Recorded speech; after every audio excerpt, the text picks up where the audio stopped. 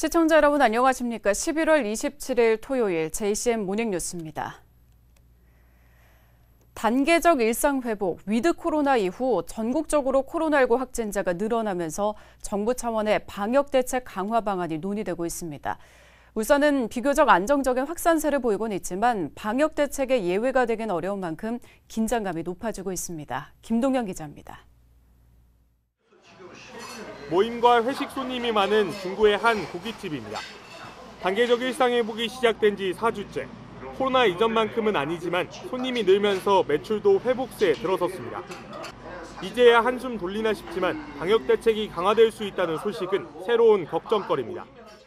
뭐 우리가 또 뉴스상으로 접해도 그렇고 또 우리 또 사실 뭐 생각도 그렇고 예, 조금 더 강화되지 않을까 이런 그 우려가 많이 뭐 됩니다. 이달 일상회복이 시작된 이후 전국적으로 코로나19 확진자와 위중증 환자 숫자가 역대 최다치를 보이고 있습니다. 이미 정부는 사회적 거리두기 조치를 포함한 모든 방안을 검토하겠다며 방역대책 강화 의지를 밝혔습니다. 이번 주 예정됐던 방역조치 발표도 다음 주로 연기했습니다. 정부안을 따라야 하는 울산도 긴장감이 높아질 수밖에 없습니다. 일단 정부에서 발표하는 그 방역 수칙에 따라 가지고 저희 시도 어, 그 방역 수칙에 맞게, 맞게 적용할 계획입니다. 18세 이하 청소년들에 대해서 좀 방역 패스 도입하는 부분에 대해서 울산은 일상회복 시행 이후 200명 이하의 확진자가 발생하고 위중증 환자도 현재 3명에 그치는 등 비교적 안정적인 모습을 보이고 있습니다. 방역대책 강화 논의가 달갑지만은 않은 이유입니다. 다만 풍선 효과 등을 고려했을 땐 울산 지역만 방역대책의 예외가 되긴 어렵습니다. 더구나 최근 울산의 한 기업체에서도 부산 확진자에서 비롯된 9명의 확진자가 발생하는 등 타 지역 확진자 접촉 사례도 늘고 있습니다. 일상회복의 갈림길에서 또 한 번 닥친 위기에 울산이 긴장하고 있습니다. JCN 뉴스 김동영입니다. 울산시가 코로나19 장기화로 침체 중인 지역 건설 산업 활성화에 적극 나서기로 했습니다. 울산시는 지역 136개 대형 공사장을 방문해 일자리 창출과 지역 하도급 업체들의 참여 확대를 요청했습니다. 시는 설계와 심의, 인허가 단계에서부터 지역 하도급 업체의 비율을 높이기로 했습니다. 현재 136개 현장 가운데 112곳에서 지역 업체의 하도급을 주고 있는 것으로 나타났으며 이로 인해 4천여 명의 고용 창출과 49억 원의 세수 증대 효과를 거두고 있는 것으로 분석됐습니다. 지난해 울산 국제영화제 영화 제작 지원 사업을 통해 제작된 작품들이 국내외 영화제에서 수상하거나 초청되는 성과를 내고 있습니다. 정성준 감독의 블루시티 서울은 전주 국제 단편 영화제 대상과 파리 한국 영화제 대상을 수상했고 이하은 감독의 제시 이야기는 디아스포라 영화제와 서울 독립 영화제, 아이치 국제 여성 영화제에 초청됐습니다. 또 안준성 감독의 바운서는 칸 영화제 쇼트필름 코너에 진출했고 박찬호 감독의 식구는 샌디에고 국제 어린이 영화제 단편 부문에 초청됐습니다. 올해 1회째를 맞는 울산국제영화제는 12월 17일부터 5일간 울산문화예술회관과 메가박스 울산 등에서 펼쳐집니다. 울산 지역에서 일하지 않고 일할 의지도 없는 청년 무직자, 이른바 청년 니트가 6천 명을 웃도는 것으로 추산됐습니다. 울산 상의와 물풀의 복지재단이 최근 공동 연구한 울산 청년 니트 실태조사와 정책재원 연구 보고서에 따르면 울산의 청년 니트는 6,600명 규모로 추정됐습니다. 소득이 없는 니트족은 소비 능력도 부족해 지역 경제 잠재 성장력을 떨어뜨리고 실업을 비롯한 각종 사회 문제를 야기할 가능성이 높아 이들을 노동시장으로 유입하기 위한 지자체 지원책이 필요한 것으로 진단됐습니다. 대학 수학능력 시험 이후 입시 스트레스에 지친 고3 학생들이 많을 텐데요. 이들을 위한 힐링 음악회가 마련됐습니다. 학생들은 평소 갈고 닦은 자신의 끼와 실력을 선보이며 즐거운 시간을 보냈습니다. 이현동 기자의 보도입니다. 울산의 한 고등학교 시청각시 노래에 맞춰 기타와 드럼 연주가 울려 퍼집니다.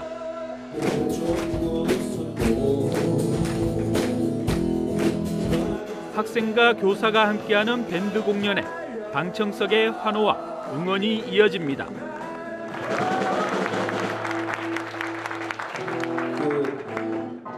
피아노를 치고 노래를 부르는 학생들까지 저마다 자신이 평소 갈고 닦아온 실력을 마음껏 뽐냅니다. 수능이 끝난 고3 학생들을 위한 특별한 시간 힐링 음악회입니다. 스스로 즐기고 그 즐기는 걸 하나의 문화로 만들고 그러면서 자기가 가지고 있는 소질들을 발휘하고 서로 서로 격려해주는 그런 분위기를 만들기 위해서 선생님과 학생들이 함께 이 무대를 구성하게 되었습니다. 청소년에서 성인으로 전환기를 앞둔 고3 학생들. 학업과 입시에 대한 부담에서 벗어나 모처럼 즐거운 시간을 가졌습니다. 공연 준비를 하면서 되게 유익한 시간을 보내고 준비를 하면서 되게 저에게 한번 할 수면 할 수 있다라는 생각을 가지게 되는 좋은 계기가 되었습니다. 이 수능 때문에 살짝 드럼을 조금 안 친 경향이 있어, 있어서 살짝 불안했는데 이 공연을 준비하면서 이렇게 다시 드럼을 치게 되니까 어, 그 준비했던 시간만큼은 정말 즐거웠고 고등학교마다 수능 이후 3학년 학생들을 위한 다양한 프로그램이 운영되고 있습니다. 연극을 활용한 성인지 교육은 물론 노동 인권 교육과 문화 콘서트 등 학생들의 자기 개발과 진로 역량 함량을 위한 프로그램이 운영됩니다. 울산시 교육청도 다양한 맞춤형 온오프라인 프로그램을 지원해 수능 이후 고3 학생들의 안전하고 내실 있는 학사 운영을 돕고 있습니다. JCN 뉴스 이현동입니다. 울산 아파트값 상승폭이 25주 만에 최저 수준으로 떨어졌습니다. 한국부동산원의 11월 넷째 주 주간 아파트 가격 동향에 따르면 울산 아파트 매매 가격은 한 주 동안 0.11%, 전세 가격은 0.24% 상승했습니다. 울산 아파트 가격 상승폭이 0.11%까지 떨어진 것은 지난 5월 마지막 주 0.1% 이후 25주 만에 처음입니다. 한국부동산원은 대출 규제 강화와 금리 인상에 이어 종합부동산세의 후폭풍으로 거래 시장이 위축되는 것으로 분석했습니다. 권명호 국회의원이 국민의힘 올해 국정감사 우수 의원으로 선정됐습니다. 권 의원은 이번 국정감사에서 성남시가 개발 사업자의 이익을 위해 송전탑 지하화를 묵살한 정황을 밝혀냈으며 친정부 성향의 자격 미달 낙하산 인사와 해외 진출 기업의 국내 복귀를 촉진하는 리쇼링 정책의 문제점들을 지적한 점에서 좋은 평가를 받았습니다. 권 의원은 현 정부 정책의 문제점을 밝혀내고 대안 마련을 위해 노력했다며 국가와 지역의 발전, 국민의 실생활에 도움을 주는 의정 활동을 할 수 있도록 최선을 다하겠다고 밝혔습니다. 제이신 우리 동네 가수왕 MC 등 방송을 통해 많은 인기를 얻고 있는 방송인 노민 씨가 울산 명예경찰 경위로 승진 위촉됐습니다. 울산경찰청은 어제 유진규 울산경찰청장 등이 참석한 가운데 방송인 노민 씨를 명예경위로 위촉했습니다. 지난 2015년부터 울산경찰 홍보대사로 활동해온 노민 씨는 앞으로 2년간 경위 계급의 명예경찰로 각종 치안 홍보 활동을 하게 됩니다. 이어서 기자의 논 시간입니다. 오늘은 스토킹 처벌법 시행 한 달을 맞아 급증하고 있는 스토킹 관련 신고와 대책을 알아봤습니다.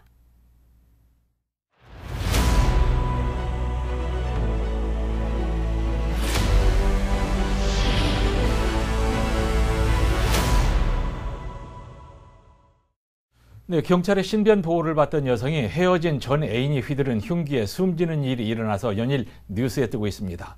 반복적인 스토킹 행위를 처벌하는 스토킹 처벌법이 시행됐지만 범행을 막기에는 여전히 역부족이라는 지적이 나오고 있는데 어, 이런 일 울산도 남의 얘기가 아니기 때문에 이 문제 구현희 기자와 얘기해 보겠습니다. 구 기자, 네. 여성들이 얼마나 불안하겠습니까? 어, 한심하고 참 이해가 안 되는 것이 살해당한 여성이 올해만 다섯 차례나 경찰에 신고를 했고 또 사망 직전에도 신고를 했다고 하는데 어떻게 이런 일이 벌어졌죠? 네. 어, 피해자는 올해 6월부터 최소 다섯 차례 112 신고한 것으로 이 파악이 됐는데요. 예. 이중네 차례가 11월에 집중됐습니다. 한 달 동안 네 차례나. 네, 그렇습니다. 이 마지막으로 신고한 것이 바로 사건 당일 이 스마트워치로 한 거였습니다. 예. 근데 이 스마트워치라고 하는 것이 손목에 차고 다니다가 위급할 때 누르면 경찰이 불이 나게 출동한다는 거 아니겠습니까? 네. 근데 피해자에게 가장 안심이 되는 장치였을 텐데 왜 범행을 막지 못했어요? 예, 그 지난달 21일부터 이 스토킹 스토킹 처벌법이라는 것이 시행됐습니다. 예. 이 스토킹 처벌법상 이 스토킹 행위자에 대해서 취할 수 있는 조치는 이 잠정 조치와 응급 조치, 긴급 응급 조치가 있는데 어, 이중 가장 강력한 조치가 잠정 조치입니다. 네. 그 잠정 조치는 또 네 가지, 이 네 단계가 있는데요. 음. 이 첫 번째는 서면 경고고요. 이 두 번째는 접근 금지, 이 세 번째는 연락 금지입니다. 아, 그리고 마지막 네 번째 단계가 음. 유치장 또는 구치소 유치입니다. 예. 아, 그런데 이번 사건의 가해자에게는 이 세 번째 조치까지만 내려졌는데 이게 문제가 된 겁니다. 아하, 그러니까 가장 강력한 조치인 네 번째 조치, 위험 인물을 가둬버리는 이런 조치를 안 했다는 거죠. 네, 경찰은 그 피해자로부터 두 번째 신고가 있고서 이 스마트워치를 지급한 것으로 이 전해졌는데요. 예. 아, 동시에 가해 남성에게는 접근 금지와 연락 금지 조치를 내렸습니다. 예. 하지만 이 조치는 위반할 경우엔 이 처벌을 받긴 하지만 이 사전에 막을 수 있는 조치는 아니거든요. 예. 예, 아니나 다를까 이 가해자가 이 조치를 무시하고 피해자 집으로 찾아가서 이 범행을 저지른 겁니다. 예, 아, 참 아쉬운 것이 강력한 네 번째 조치를 했더라면 이런 상황까지는 안 갔을 것 같은데 이게 두고두고 아쉬움으로 남는단 말이죠. 어, 이 네 가지 이 잠정 조치 이런 매뉴얼이 있는 건 좋은데 어떤 상황에서 어디까지 적용할지 이 판단이 중요하단 말입니다. 이건 누가 결정하는 거예요? 네, 그 스토킹은 이 스토킹 행위와 스토킹 범죄 이 두 가지로 구분해야 하는데요. 아, 누군가 내 집을 찾아와서 쳐다보거나 문을 두드린다고 해서 이 모든 사람이 스토킹으로 신고하지는 않을 겁니다. 네. 아, 또 한두 번 이런 행위에 대해서는 경찰이 구두 경고 혹은 조금 더 심하, 심하면 이 문서 경고를 주는데요. 아, 그런데 이런 일이 두 번, 세 번 반복적으로 일어나거나 이 한 번의 행위라 하더라도 이 사안이 중대하면 이 경찰은 이러한 행위를 스토킹 범죄로 간주하고 입건합니다. 예. 이 지난달부터 시행된 이 스토킹 처벌법 잠정 조치는 이 바로 스토킹이 행위에서 범죄가 됐을 경우에 적용하는 조치인데요. 아, 이 네 가지 잠정 조치 1, 2, 3, 4호 중 이 몇 번째 조치까지 내릴 거냐는 이 사건을 담당하는 경찰관이나 수사팀에서 하게 됩니다. 아하. 아, 이렇다 보니 비슷한 사안이라 하더라도 이 담당 경찰관에 따라 이 잠정 조치를 어느 단계까지 내리느냐가 이 달라질 수 음, 있습니다. 그렇겠네. 이 무엇보다 가장 강력한 조치인 유치장이나 구치소에 유치하는 이 4호 조치는 이 법원의 승인이 있어야 하는데 예. 이 스토킹 처벌법 시행 이후에 승인 받은 게 전국적으로 10건도 되지 않는다고 합니다. 아하, 전국적으로 열 건도 안 돼요. 네. 이것도 문제네요. 자, 어쨌든 막을 수 있던 범죄를 막지 못했는데 스마트워치를 찬 피해자의 위치도 오차가 너무 심했고 출동에도 일부 혼선이 있었고 그런 문제가 있었네요. 알고 보면 100% 경찰만 욕할 수도 없을 것 같은데 스토킹 행위나 범죄 울산은 어떤가요? 네, 그 스토킹 처벌법이 이 지난달 21일부터 시행됐다고 말씀을 드렸는데요. 네. 아, 일단 울산만 놓고 봐서는 이 법 시행 전인 올해 1월부터 10월 20일까지 한 10달가량 이 스토킹 관련으로 울산경찰청 112에 신고된 건수는 150건이었습니다. 꽤 많네. 아, 법 시행 후에는 이 한 달도 채 되지 않아서 47건이 신고됐는데요. 예. 이걸 일일로 환산하면 이 법 시행 전보다 세배나 많은 겁니다. 네. 근데 울산에서 경찰의 신변 보호를 요청하고 대상자로 등록된 사람이 얼마나 돼요? 예, 그 현재 울산에서 이 경찰의 신변 보호 대상자로 등록된 사람은 68명입니다. 어이구. 아, 이중 데이트 폭력이나 스토킹과 관련해서 신변 보호를 받고 있는 사람은 24명인데요. 예. 아, 울산의 신변 보호 대상자 10명 중 3명이 이 데이트 폭력이나 이 스토킹 피해자인 겁니다. 예. 아, 울산의 신변 보호 대상자 중에서 이 스마트워치를 지급받은 사람도 이 44명인데요. 이 중 16명이 이 데이트 폭력이나 스토킹 피해자입니다. 스마트워치로 신고한 경우도 많아요? 네. 그 스토킹 처벌법이 시행된 후에 이 울산 경찰청 112로 이 신변 보호 요청이 들어온 건 128건으로 이 파악이 됩니다. 네. 아, 이중 16건은 이 스마트워치로 신고한 거였는데요. 아, 경찰이 출동해서 현장에서 가해자를 검거한 사례도 한 건 있었습니다. 예. 아, 또 헤어진 연인에게 이 만남을 강요하면서 전화로 협박하고 예, 찾아와서 이 침입하려 했던 남성이 스토킹 처벌법 잠정 조치에 따라서 유치장에 유치된 사례도 있었습니다. 어, 울산에서는 강력한 조치를 한 게 있네요. 네. 예, 조치를 잘했어요. 한 건뿐인가요? 어, 네, 스토킹 처벌법 시행 이후 울산에서 잠정 조치 4호가 내려진 건 모두 두 차례입니다. 예. 아, 접근 금지와 이 통신 금지까지 포함하면 이 잠정 조치는 모두 세 차례 내려졌다고 보면 됩니다. 네, 소를 잃긴 했지만 외양간은 우리가 고쳐야죠. 김창룡 경찰청장도 또 어, 유진규 울산 경찰청장도 이번 사건을 계기로 스토킹 범죄에 엄정하게 대응하겠다고 했는데 앞으로 어떻게 하겠다는 겁니까? 네, 이 경찰은 우선 국민의 생명을 지키지 못했다면서 공식 사과했습니다. 스토킹 대응 전담팀도 이 구성하겠다고 했는데 예. 아, 또 스토킹 가해자를 유치장이나 구치소에 유치하는 잠정 조치 4호를 더 적극 검토하겠다고 했습니다. 예. 그 위치 오류라든지 경찰 출동 지령 혼선 등 이 스마트워치 시스템 문제는 경찰청 차원에서 대책을 내놓겠다고 했으니 이 지켜봐야 할 것 같고요. 예. 아, 일단 울산의 경우는 이 유진규 울산 경찰청장이 이 지난 22일이죠 일선 경찰서를 방문해서 스토킹 범죄에 대한 전반적인 대응 체계를 점검했습니다. 예. 아, 그간 스토킹 행위나 범죄 대응에 미흡한 점은 없었는지 이 점검을 했는데요. 아, 그리고 그리고 이게 앞서 말씀드린 이 담당 경찰관에 따라 달라질 수 있는 이 잠정 조치 예. 이거에 대한 결정도 일어나기로 했습니다. 음. 이 경찰서장, 이 나아가 유진규 울산 경찰청장까지 이 보고가 되도록 해서 이 일관되고 이 적극적인 잠정 조치가 내려지도록 한다는 방침입니다. 자, 여기서 한 가지 우리가 스토킹을 당하는 피해자 입장에서 스토, 어, 스토킹을 당하고 있을 때 어떻게 하는 것이 제일 현명합니까? 어떻게 네. 하는 게 최선이에요? 네, 그 일단 데이트 폭력도 그렇지만 예. 이 스토킹은 아예 일면식도 없는 낯선 사람이 아닌 이 가해자의 90% 이상이 헤어진. 연인이라든지 예. 부부, 친구 등 지인이라고 합니다. 네네. 아, 그렇다 보니 이 피해 초기에 신고를 적극 하지 않거나 이 스토킹이라는 인식 못하고 그냥 넘어가는 경우가 많다고 하는데요. 예. 아, 일단 경미한 스토킹 행위라 하더라도 두 차례 이상 반복되거나 음. 단한 차례라 하더라도 이 피해자가 불안감이나 두려움을 느낄 정도라면 바로 신고해야 합니다. 바로 신고. 예, 또 최근 스토킹 범죄 대상이 이 피해자 가족이나 지인으로까지 넓어지고 있고 또 이번 사건과 같이 강력 범죄로 이어질 수 있는 만큼 음. 이 당사자나 이 주변인의 적극적인 신고가 이 매우 중요합니다. 알겠습니다. 이제 남의 집 부부 싸움이나 젊은이들 애정 싸움에 끼어들지 않는 것이 우리네 정서인데 이번 일을 보면서 생각을 조금 바꿔야 되겠습니다. 구현희 기자와 말씀 나눴습니다. 고맙습니다. 감사합니다. 제9회 울산시 사회복지사 대회가 어제 한국동서발전 대강당에서 열렸습니다.